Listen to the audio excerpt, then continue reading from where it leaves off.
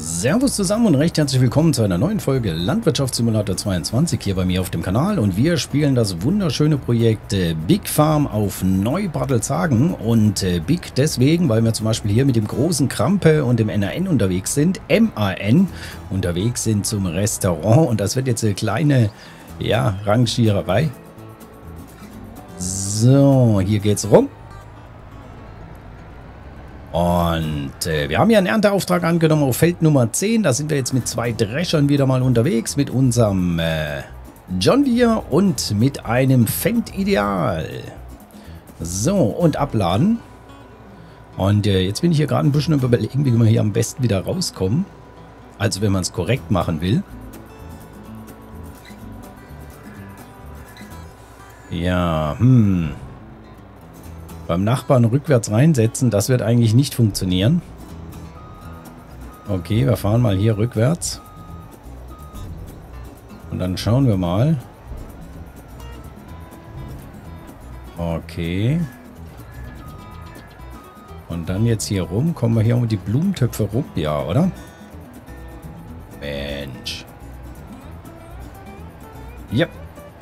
Aber der Helfer hätte das wohl nicht geschafft. Ich habe übrigens auch festgestellt, dass es auch mit unserem äh, Messi Ferguson hier nicht funktioniert mit dem Helfer. Der fährt hier nämlich einfach mal geradeaus aufs Auto drauf. Der schlägt noch nicht einmal ein, sondern fährt einfach geradeaus drauf. So, ich glaube mittlerweile ist auch schon der nächste Drescher wieder abtankbereit.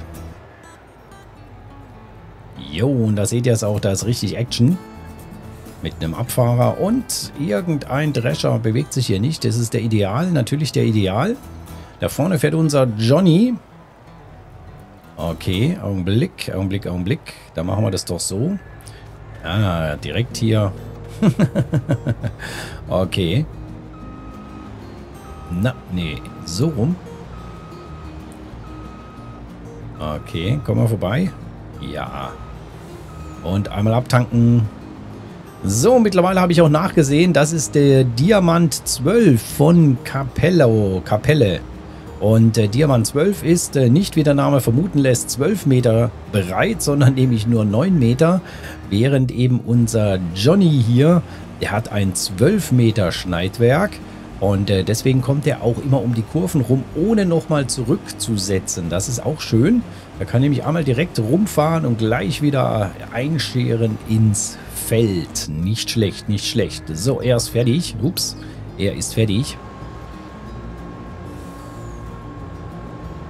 Ah, jetzt sind wir, glaube ich, ein bisschen am Problem. Ja, okay.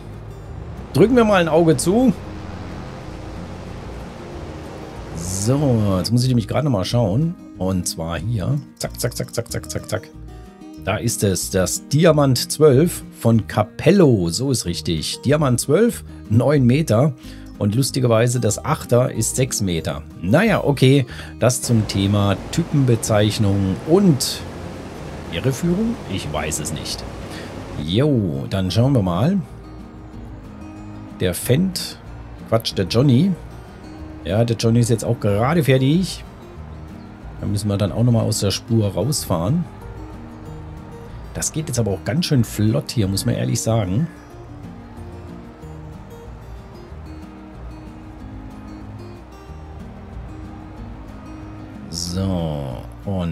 Ist. Einmal um den LKW rum. Einmal hier rein.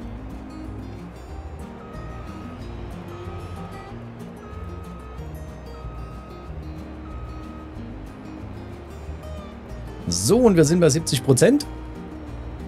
Weil wir ja da unten das Stück noch haben, was da unten so im Nebel ist, im Dunst. Da haben wir noch ein großes Stück abzuarbeiten. Sehr schön. Mittlerweile müsste auch, lass mich mal ganz kurz gucken, die BGA wieder laufen. Äh,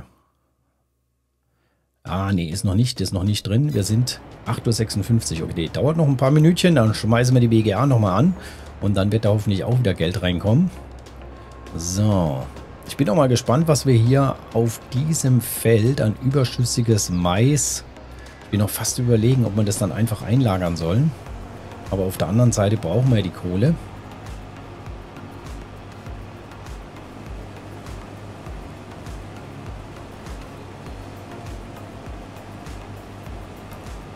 So, jetzt muss ich ein bisschen mit meinem Kopfhörer spielen. So, jetzt passt wieder. Okay. 40. Ich überlege gerade. Eigentlich könnten wir den doch schon abbrechen. Weil der Johnny wird ja wohl hier jetzt den Rest alleine schaffen. Dann könnten wir den nämlich schon mal hier losschicken. Ja, wir nehmen aber die rechte Seite, weil da haben wir dann einen kürzeren Weg zum Abfahrer. Na, ich überlege jetzt nur gerade, wird der mit 42? Wir sollten den nochmal abtanken. So, und zwar mit ihm hier, mit dem Ferguson, mit dem Massey, der wie gesagt auch nicht viel besser ist, äh, jedenfalls als Abfahrer, was den Helfer angeht, zumindest zum Restaurant. Aber unsere Felder, die werden wir ja dann ins Silo bringen. Das ist ja da oben, ganz da oben ist das Silo. Da oben, jetzt sieht man es hier durch die Bäume, sieht man es links, das Silo. Und äh, da kommen auf jeden Fall die beiden Fahrer, die beiden Abfahrer wesentlich becher, besser, Becher, besser zurecht. So, also Restaurant ist sowieso so ein Problem. Kind wegen diesem Auto, was da so komisch geparkt ist, wo ich mir auch nicht ganz sicher bin, ob das überhaupt korrekt geparkt ist. Naja. Oh, schon fertig? Tatsächlich. Gut. Weil dann schicken wir den Kollegen hier auf Reisen. Und dann kann er uns da schon mal ein bisschen hier den Weg frei machen. Und das müsste doch hoffentlich reichen, dass er auf dem Rückweg dann abgetankt werden kann, dass das Rohr, das Abtankrohr dann auf der richtigen Seite ist. So, was sagte Johnny? 41. Okay. Ja, ja, da fährt er jetzt noch einmal hoch und einmal runter und dann passt das. Sehr gut. Sehr, sehr gut. Ja, ihr seht es, ich war jetzt ein bisschen äh, vorsichtig und habe jetzt mal erstmal die Uhrzeit auf 05 runtergedreht. Die können wir jetzt eigentlich auch wieder hochstellen. Auf Echtzeit. Weil ich bin ja jetzt sehr optimistisch, dass wir bis um 10 Uhr hier fertig sind und dann müssten wir für die anderen zwei Felder, wenn wir hier zu zweit sind, mit zwei Maschinen schon arbeiten, dann müssten wir doch relativ äh, zügig da fertig werden. Und dann können wir auch noch Feld, äh, äh, Feldbearbeitung angehen in diesem Monat. Schon mal die Felder ein bisschen vorbereiten, auf jeden Fall entsprechend auch düngen, vordüngen, denn wir haben ja jede Menge Gärreste. Äh, stopp, hier. So. Hier. Gärreste, 219.000 Liter. Und äh, die will ich eigentlich aufs Feld bringen. Genau. Damit wir dann ein bisschen am Dünger, am Kunstdünger sparen. So, dann können wir eigentlich mal selber auch wieder übernehmen. Dann fahren wir hier in die Spur. Sehr schön. Ja, Mais und Sonnenblumen, das macht mir Spaß dann hier aus der Eigen, aus der, aus der Kanzel heraus, aus der Ich-Perspektive hier zu arbeiten. Da geht es ganz gut. Weil man hier die Fahrspur gut sieht, ohne hier also rechts gucken zu müssen. So, 73 Prozent. Okay, das passt sehr gut. Ja, also 12 Meter äh, Schneidbreite hier also die Breite des Schneidwerks des, des Maispflückers, der ist es, also 12 Meter ist schon ordentlich. Also damit kann man richtig gut arbeiten, vor allen Dingen hier auf diesem Big Farm Projekt. Und äh, so werden wir dann auch weitermachen. Und früher oder später muss auch ein zweiter Drescher her, ein eigener zweiter Drescher, wobei ich ja fast im Überlegen bin, ob sich das überhaupt lohnt, wenn man eben keine Aufträge macht. Also wenn man Aufträge macht, dann lohnt sich ein eigener Drescher. Aber wenn man jetzt nur für die eigene Ernte, ich meine, das Ding steht dann im Prinzip locker neun Monate rum und dafür zahlt ihr. Also da ist fast zu überlegen, ob man da einen Drescher eben nicht äh, mietet. Das müsste man echt mal auch ausprobieren, ob es sich dann nicht lohnt, so eine Maschine, die eigentlich dann kaum eingesetzt wird. Außer natürlich, wie gesagt, man nimmt äh, jede Menge Aufträge an und das bietet sich ja für uns hier schon an, weil wir im Moment noch nicht äh, so flüssig sind und wir ja auch selber nicht äh, so viele Felder haben. Wie ich zum Beispiel am Ende meines äh, Garteltagen, äh, ich weiß gar nicht, wie hieß denn das Projekt jetzt wieder? Ich bin jetzt ein bisschen überfragt. Also vor dem Update, als ich da noch in dem Projekt war, da habe ich ja fast alle Felder gehabt. Und dann haben wir logischerweise ja fast nur für uns gearbeitet. Da war das natürlich eine ganz andere Geschichte. Da hat man den ganzen Tag eigentlich gebraucht, um seine Felder zu ernten. Und äh, dann war es natürlich schon logisch, dass man eigene Drescher hatte. Oder das, wir hatten sogar, glaube ich, dann am Ende zwei. Ich bin mir gar nicht mehr so sicher. So. Dann schicken wir den hier einfach mal los, weil dann können wir... Ja, sehr gut. 71, das passt. Dann können wir nämlich mit ihm hier mal abtanken.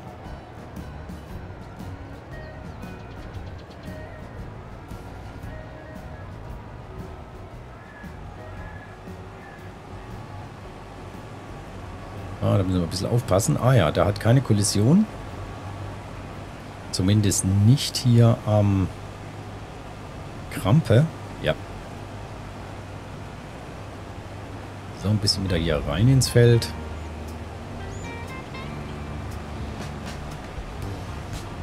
So, und auch das wollte ich noch mal kurz nachgucken. Wie war denn das bei den LKWs? Der MAN. 4x4. Ja, doch, Allrad, ne? Ja, feines Teil. So, wie schon leer? Äh, ach so.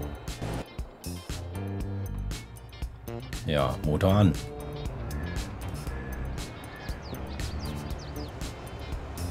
So, da, untere, da unten kommt der andere. Dann machen wir doch mal folgendes. Weil ich denke, dass er jetzt gerade, wird er jetzt schon langsamer.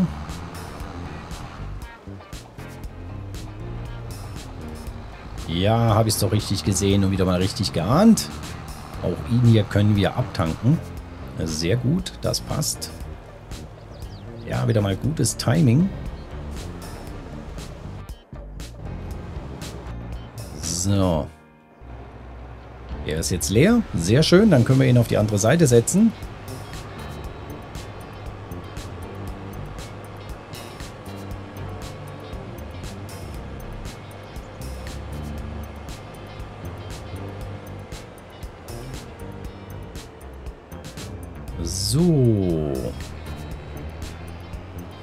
Wieder das Brezelbacken.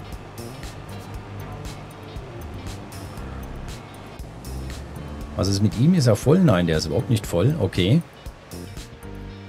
So, und wie sieht es beim LKW aus? 74, der ist auch noch nicht voll. Also da können wir beide nochmal abtanken. Ah, und jetzt sehe ich gerade 9.03 Uhr. Das heißt, unsere BGA müsste jetzt gefüllt sein. Dann können wir die jetzt mal anschmeißen.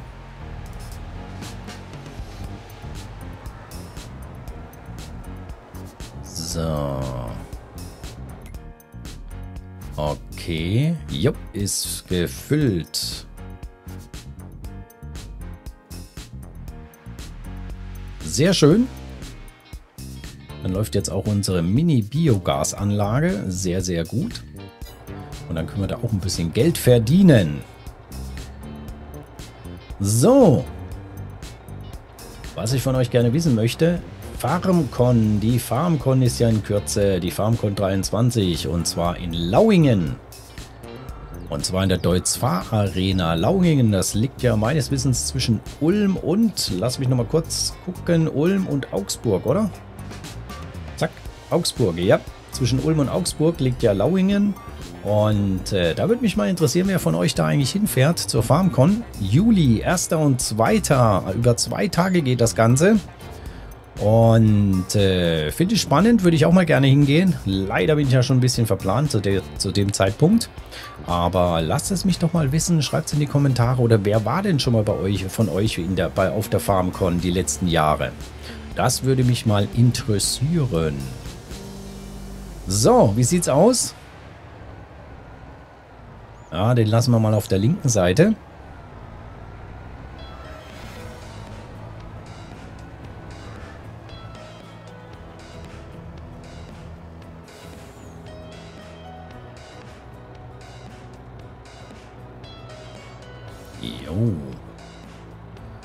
Sehr gut. Dann könnten wir mal in der Zwischenzeit Ich überlege jetzt gerade. Ne, spritzen können wir noch nicht. Können wir eigentlich düngen? Wir könnten eigentlich düngen. Aber dann nehme ich lieber den anderen dazu. So, weil ich glaube, da brauchen wir Pflegebereifung, oder? Dann könnten wir eigentlich hier... Aha.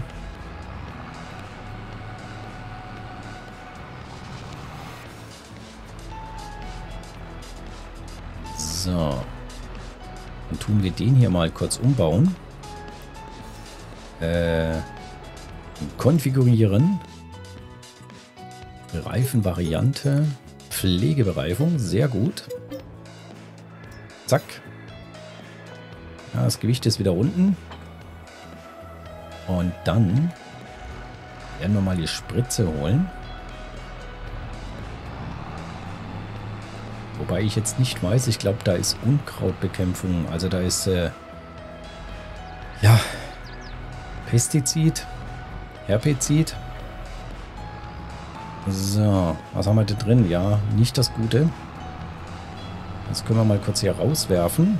Weil wir haben ja einige Felder, die wir noch düngen müssten. Das können wir ja in der Zwischenzeit mal machen. Oder beziehungsweise mal vorbereiten. Äh, stopp. Jetzt muss ich wieder gucken. Wie war das? Das hier? Ja. So, jetzt muss ich überlegen, wo war denn jetzt das Material? Wo war jetzt der Dünger? Ah, aber ich glaube, wir haben keinen Flüssigdünger, ne? Ist das das Problem? Äh, lasst mich mal kurz schauen. Und zwar, ich glaube, am anderen Hof. Kann das sein, dass hier am anderen Hof... Was haben wir denn hier? Ne, Pflanzenschutzmittel. Flüssigdünger. Ja, bingo. Ja, toll, da kommen wir jetzt aber nicht dran, ne?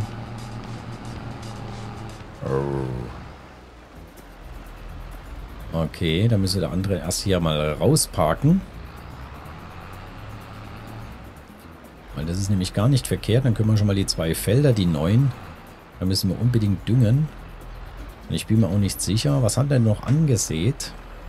Ich überlege gerade, was haben wir denn hier noch angesät? So das Feld hier Raps, Raps und da haben wir Weizen und die müssen, glaube ich, alle noch gedüngt werden, wenn ich richtig weiß. So, da haben wir Dünger drin. Aber ich... Ah, stopp doch. Das müsste doch gehen. Mit dem müssten wir doch eigentlich, wenn noch die erste Wachstumsstufe ist, haben wir noch keine, meines Wissens noch keine ähm, Fruchtzerstörung.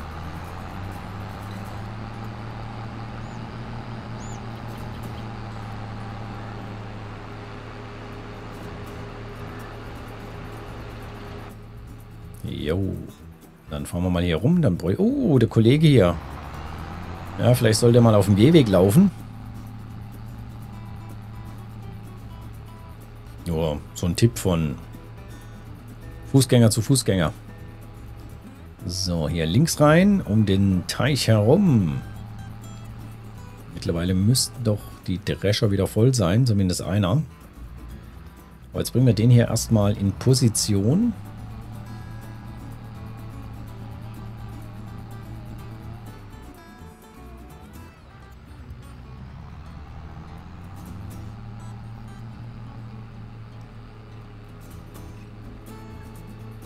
So, und die Hilfe werde ich jetzt auch gleich nochmal einschalten müssen, weil ich bin mir jetzt gar nicht sicher, was wir jetzt hier für eine Ausbringbreite haben. Äh, zack. So. Äh. Ach, das können wir bei dem, glaube ich, gar nicht einstellen. Okay. Dann schauen wir aber erstmal, wie weit die Drescher sind. Natürlich er hier ist äh, zum Abladen. Ah, er kann auch abgetankt werden. Okay. Dann bringen wir doch beide in Position. Dann sind nämlich auch... Na, er ist ja... Ja doch, der wird dann auch voll sein, höchstwahrscheinlich.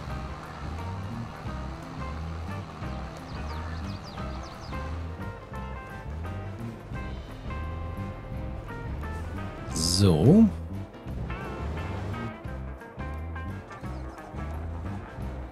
Da müssen wir wieder leider rausfahren, wieder auf der falschen Seite. Auch wenn wir, wie gesagt, bei den Aufträgen keine Fruchtzerstörung hätten, machen wir es trotzdem ordentlich.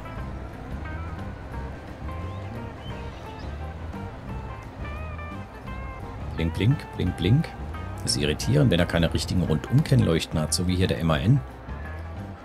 So, dann springen wir mal wieder hier raus. Blink, blink, blink, blink. Ja, also so gut finde ich, sieht man die gar nicht.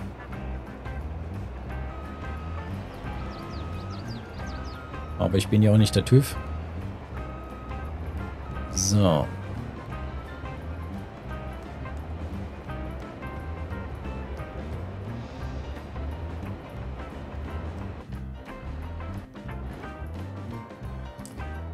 Oh, er hat noch ein bisschen Luft. Da können wir nochmal abtanken. 87, er hat auch noch ein bisschen Luft.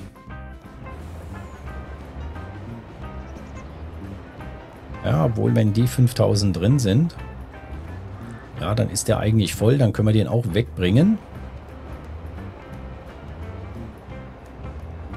So. Das Rohr wieder einfahren. Wieder in die Spur gehen. Und ab die Post.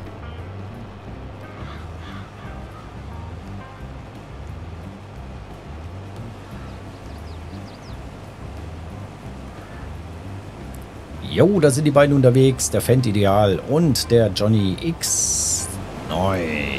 Wunderbar. Den anderen sieht man gar nicht. Jetzt schauen wir mal, wie es hier aussieht mit dem Düngen. Weil Stickstoff 180, ja, da muss auf jeden Fall gedüngt werden. Wie sieht es hier drüben eigentlich aus? Ich habe echt keinen Schimmer. Äh, Unkrauthacke. Und hier muss auf jeden Fall auch Stickstoff drauf. Aber das ist ja auch erst, wenn da Hacke steht. Unkrauthacke, dann ist das ja auch erst die erste Wachstumsstufe. Dann schauen wir mal. Aber es dürfte, glaube ich, keine Fruchtzerstörung geben. Wir hätten das Ding aber auch gleich wieder voll machen können. So, jetzt bin ich aber ein bisschen, äh, jetzt weiß ich gar nicht, wie weit tut der, der jetzt da rauswerfen. Ich glaube Dünger sehr viel, oder? Bei Kalk war es nicht so viel. Ja, man kann sich auch irren. Wir schauen mal ganz kurz. Nee, doch, das hat eigentlich gut gepasst, wenn ich das richtig sehe. So.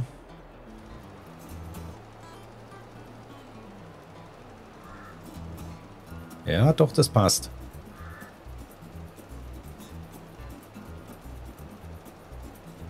Ja, ich schaue links unten auf die Map. Ah, doch, ein bisschen könnten wir noch rüberfahren. Aber wir brauchen auf jeden Fall... So, hier keine Pflegebereifung hier am Anhänger. Weil der fährt hier natürlich schon hier mit ganz schön breitem äh, äh, Fahrwerk hier drum, äh, mit Breitreifen hier rum. So, gut. Ja, dann können wir hier auf jeden Fall mal düngen. Wie sieht's aus? Ja, macht da schon ordentlich drauf. Wir sind ja einmal, haben wir Gärreste draufgepackt. Das sind dann 60 Gramm. Beziehungsweise 60 Kilogramm aufs Hektar. Und jetzt packen wir hier mit dem, mit der Automatik sozusagen den Rest drauf. Und dann sollte das Feld doch hoffentlich ordentlich gedüngt sein. Und wenn wir hier mal ganz kurz hier im Precision Farming reingehen. So, hier, dann sieht es doch so aus. Ja, Stickstoff, ja genau, da müssen wir noch ein bisschen was machen. Da sind wir jetzt bei 97 Punkten. Und 100 wäre ja erstrebenswert, um 15% ja, Verkaufspreissteigerung zu bekommen. Jo, ja, dann schauen wir mal. Okay, pH, Stickstoff. Ja, sieht doch gut aus. Okay, wie sieht es unten mit der Wende aus? Fährt er bis runter? Der fährt bis runter. Okay, dann lasse ich dich jetzt erstmal kurz alleine. Er ist bei 64. So, dann könnten wir ihn ja nochmal Motor starten, abtanken. Ah ne, der ist ja voll. Oh. Er ist ja voll. Dann bringen wir ihn mal weg.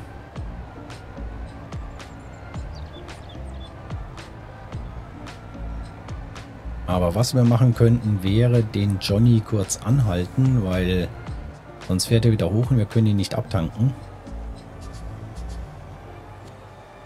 Obwohl, mir fällt gerade ein, wir haben ja noch einen Trecker. Der hier ist voll, aber wir können den nicht automatisch fahren lassen. Das bringt nichts. 79. Okay, dann halten wir den mal an. Fahren das Rohr raus und lassen erstmal den Motor aus. So. Und dann machen wir den hier voll und bringen den dann zum Restaurant. Sehr gut. Und während wir hier dann das Feld hier fertig abernten und dann alles bereit machen, um dann auf äh, umzusetzen sozusagen auf unsere Felder und dort den Kollegen dann, ja, mit dem wir ja abgesprochen haben, dass wir erst sein Feld machen und dann anschließend er uns unterstützt bei unserem Feld. Ja, bis dahin machen wir jetzt hier ein kleines Break. Ich bedanke mich recht herzlich bei euch fürs Zusehen. Hoffe, es war wieder ein bisschen unterhaltsam und spannend. Wie gesagt, wir haben jetzt hier sehr, jede Menge zu tun mit der Ernte mit Sonnenblumen und Mais auf unseren Feldern. Und äh, wir sehen uns in der nächsten Folge und bis dahin sage ich Tschüss, ciao, cheerio, bis die Tage.